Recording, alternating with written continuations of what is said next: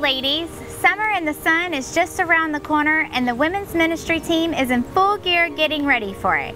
You know, life is just crazy busy these days and sometimes we need to refresh, renew, and restore our relationship with Jesus. So, we would like to invite you to restore my joy and refresh my spirit on Thursday, August 1st at 6:30 p.m. at Heights Baptist Church. Lisa Pierre will bring a fresh word and lead us in worship. We have a great night planned just for you. Let's, go, girls.